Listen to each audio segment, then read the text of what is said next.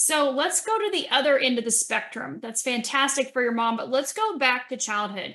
You know, you mentioned, Dr. Pamela, there's a lot of toxins out there today, toxins that we, when we were children, did not have to deal with.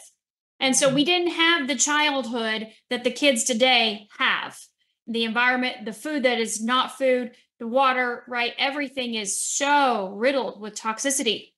So people ask me all the time are these patches safe for children? The first two people I patched were my children. That was my personal choice.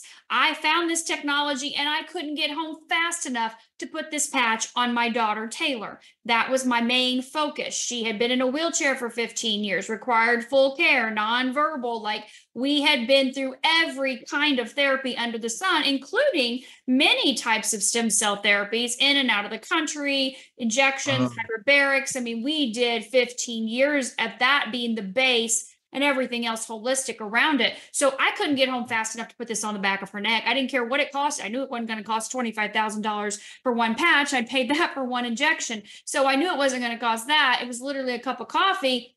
But people ask me all the time, is this safe for kids? Now we know we don't have any studies on children, right? No pregnant or nursing mothers. But as you mentioned for yourself, you know, for your your child, Dr. Dennis, you know, and I would love to know each of your thoughts on that because you are working with people. Just like you said, your whole focus is to help other people, share this with other people.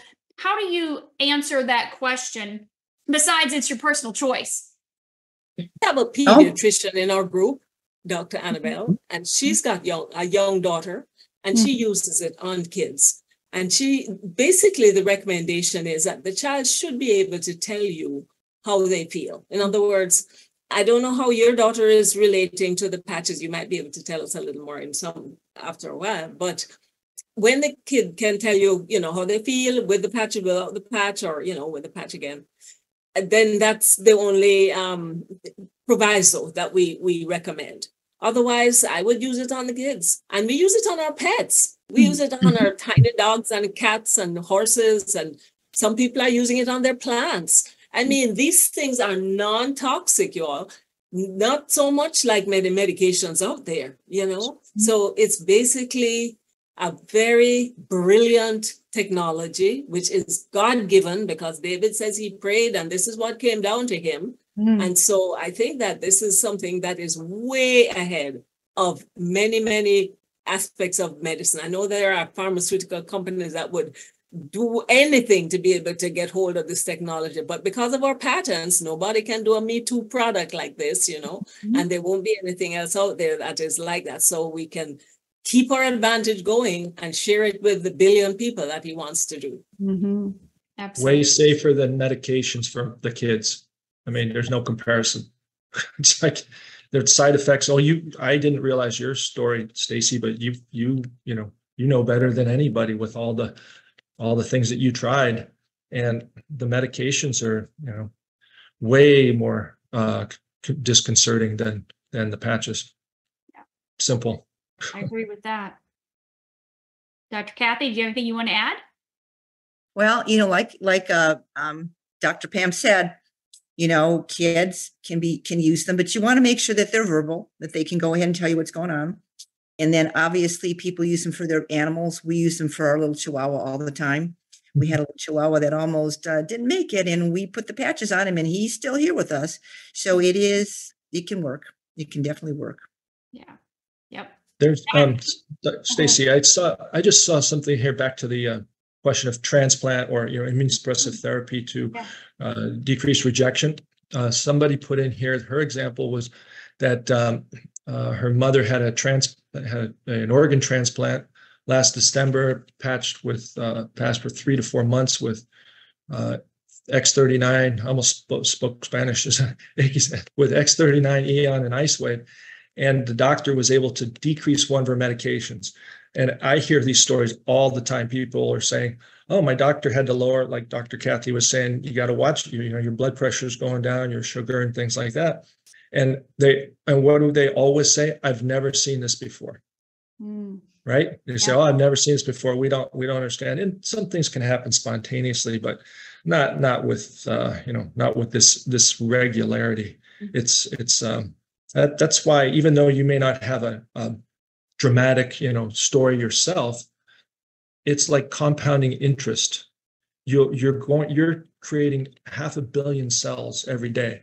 I would rather, if I'm going to make cells, I want to make good ones. So even though I don't feel anything, you know, dramatic like uh, mental clarity or mood or anything, they can't work for everybody else and not for me. And I've seen it work for so many people. I've heard this, these, you know, remarkable stories that you know i just you you can't you can't deny it you can deny it but um, Mhm. that to your own detriment and that's why allopathic doctors have a hard time dealing with this technology Yeah. because they are brought up on the pharmaceutical model and Mhm. it's a this for that every symptom symptoms yep you know i literally had a patient come to me with 26 different medications i'm in primary care that's I'm the nothing first, I'm the gatekeeper. I'm the first person they come to when they have a problem. But then they go off to their specialist and they come back with 26 different medications that she was taking. She, there were like three of each category. She didn't realize that she was taking the same thing in three different iterations